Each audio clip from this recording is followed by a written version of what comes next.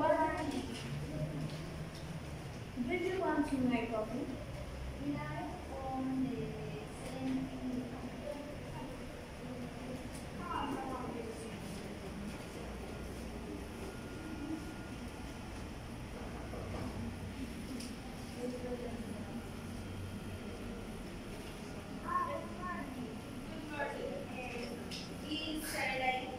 Please come come here.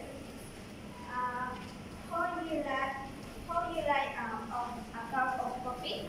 Yes. What do you think of her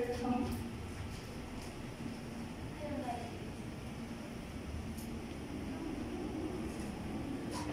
What do you think of your inbox?